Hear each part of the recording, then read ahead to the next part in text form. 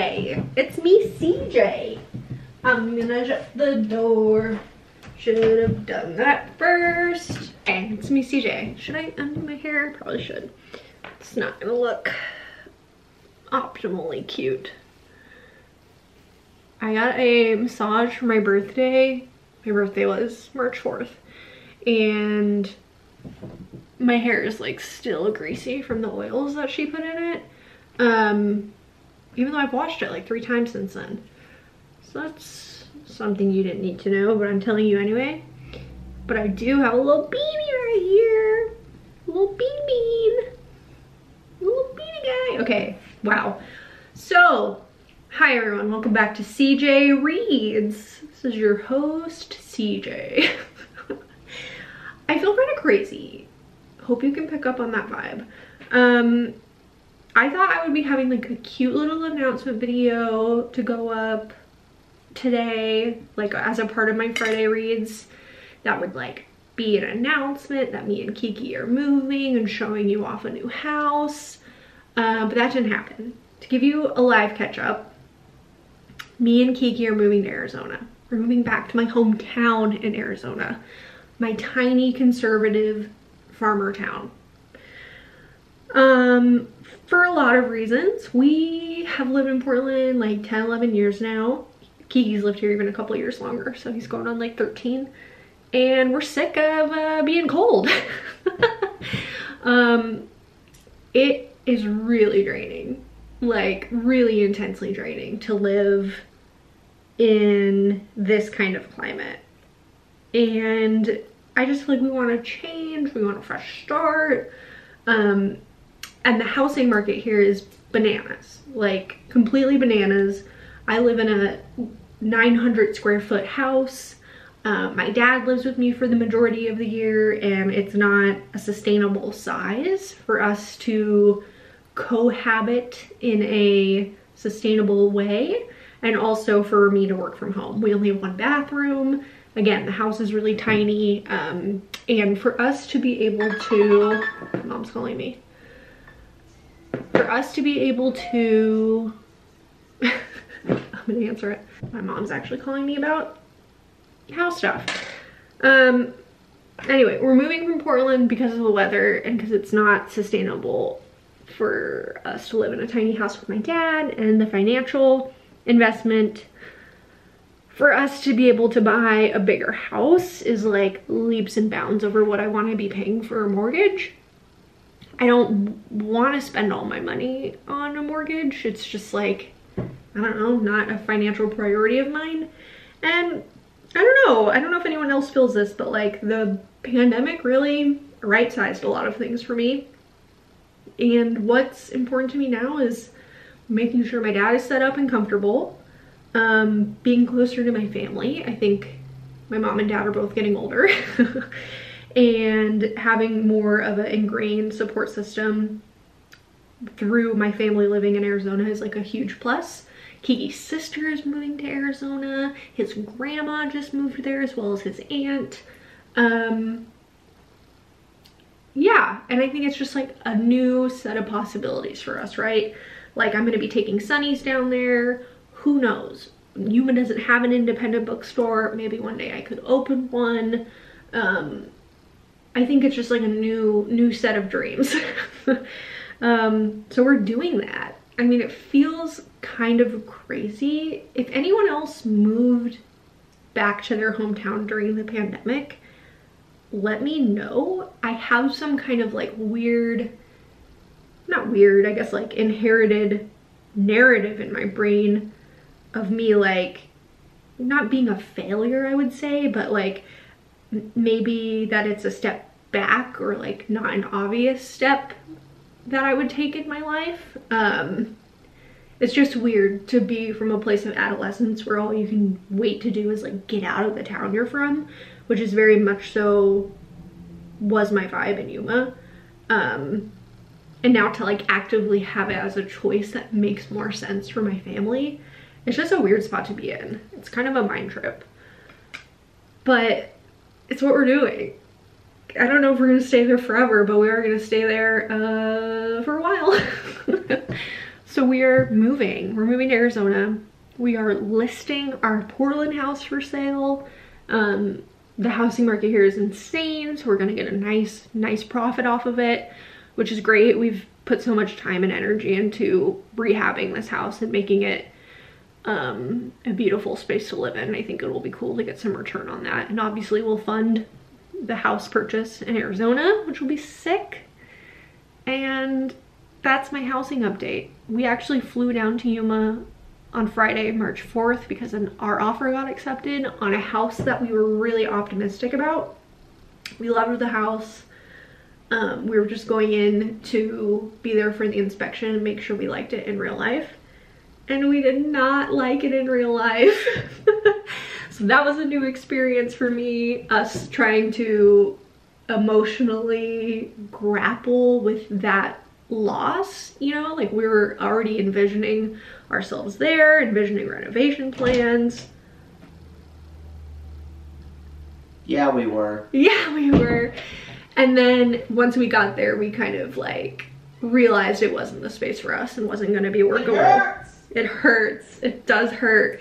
We got off so easy on our Portland house. We saw this house, we liked it, we put an offer in and it was accepted like five years ago.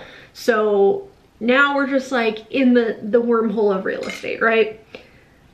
So that house fell through. Another house we liked um, ended up falling through because the financing was weird and was only accepting cash offers.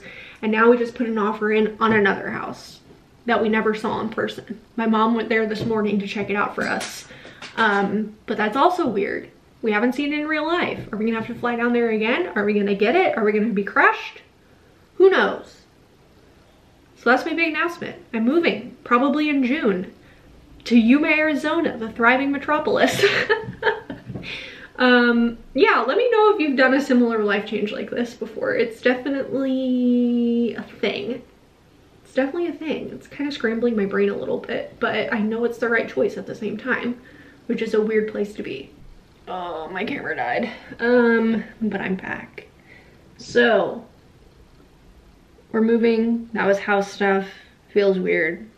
There's a lot going on. Prepping our house to sell it. All of that to say, if I'm less online lately, that's why. Um, I'm still watching tubes. Still winding down with some tubes every night, but not not gonna be uploading a lot of tubes, I don't think. Uh, bookish news now. Shall we get to the meat and the potatoes? Um, my friend Sujay sent me a birthday gift which is so kind. He's my bookstagram and YouTube friend. He archived his channel right now or I would link it, but um, it is a manual for cleaning women by Lucia Berlin. It's eight short stories. Some take place in the Southwest, which I'm really looking forward to reading. This has been on my TBR for like years and I've never picked it up for some reason. So thank you again, Sujay. You're literally so kind and sweet and it's appreciated. Um, he has my address. That's, I don't know, that's not relevant to you. Um, but that's why he sent me something. I don't have like a wish list or something. um, my big like bookish update is that I finally finished Crossroads by Jonathan Franzen, which is like 500, 600 pages long. I had started that at the beginning of the year and put it off while I was reading some other videos for that Lauren Oyler vlog but I went back to it and I finished it and I really liked it. I think people who have criticism about Jonathan Franzen is valid, but I like honestly don't think you can knock his work. Like if you want to read a character rich weaving sprawling narrative, he's your guy. Both Crossroads and The Correction were so like insular and focused on the familial and like these micro interactions between each family member and they were so realized and well done. Crossroads in particular follows a family, a pastor's family who lives in a small Midwestern town. Um, it kind of is at the crux of counterculture in the 1960s and 70s and follows each family member as they interact with the church and interact with one another and interact with their small community. as far as like character archetypes, we kind of have like a mom who is losing her shit and has some hidden backstory that she hasn't told anyone. A son who is dabbling with drugs and turns out to be mentally ill. Um, an academic son who is more liberal leaning, who gets involved with the Vietnam War. A perfect supposed angel child who's like very sociable and popular um, a young boy, and then the dad himself is the pastor of this church. And I think it's commentary on like belief and like the kernel of religion as this thing that kind of ties communities and families together and is like so rich and fertile for things to happen out of them, not good things not bad things, but it's just like such a source of interaction um, for so many people and such a cross section of people's lives. It was really fun to read about. Um, yeah, I loved the kind of interplay of the dad pastor who was once thought he was cool and he's not cool anymore and his like battle with the new youth pastor that comes into town I thought the writing about um, his time doing like service mission trips for indigenous families in Arizona actually was funny. Um, there's they're they're kind of uh, in the latter half of the book held up and critiqued by some of the indigenous youth that um, isn't happy with their presence there and doesn't think any of the work they're doing is beneficial. And we also kind of have this like memory and recount of the dad's first experience meeting these people when he was volunteering when he was a young boy and how he formed relationships with them and got integrated into part of their community to begin with, which was like pretty beautiful. The descriptions of the landscape and him just being able to witness and become a part of that social structure even for a brief moment was just kind of entrancing to read about. So um i think it's one of three. It's going to be an ongoing trilogy and i think it's going to center around the same family. So i'm excited to see where it goes next. I think uh judson the youngest son will play a big part in the next book because he was so young in this one. And my big question and takeaway is what is going to be that kernel that keeps everyone together like religion and church did for, for Crossroads. Um, I don't know, maybe it's like music. Some of the families have um, some ties to entertainment. Uh, maybe it's, I don't know, the rise of capitalism maybe? Like, is that what Franzen's doing? Is showing our devotion to things that are worthy of worthy of devotion and in religion to to how the American landscape and focus shifted to consumption. I don't know. I think it's I think Franzen's great. And if you haven't read one of his novels yet, I would highly recommend Crossroads or The Corrections. I enjoyed both of them immensely. Uh, after Crossroads, I picked up Vladimir by Julia May Jonas. It is a new release from a first-time author and it is following a middle-aged couple who are both professors in an academic setting after the wake of a scandal. Um, basically, her husband is asked to resign because it is called out that he has had numerous consensual sexual relationships with his students throughout his teaching career, which his wife was aware of. They had an open marriage. It was not a betrayal to her by any means. And it's kind of unpacking how she's viewed after that, what their relationship looks like now that other people have that private info available to them.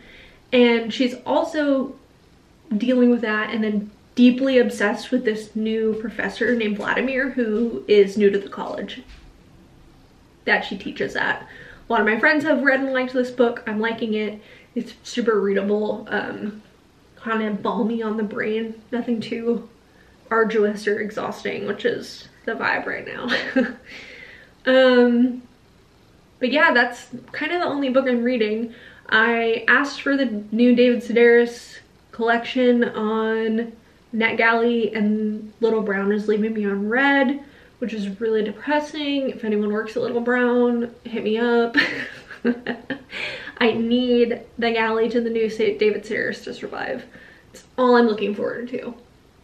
I've gotten a lot of good book mail lately, um, but I can't remember what I've showed you already, which is not helpful to you or to me, is it? Um, but yeah, that's kind of where I'm at. I hope you're doing well. Any other bookish things I can think of? I think that's it, honestly. Um, definitely feeling more comfort reads, more easy slice of life stuff at the moment. Brainy no worky. That's it. Just wanted to check in. It's been a couple weeks. Uh, love you. Bye.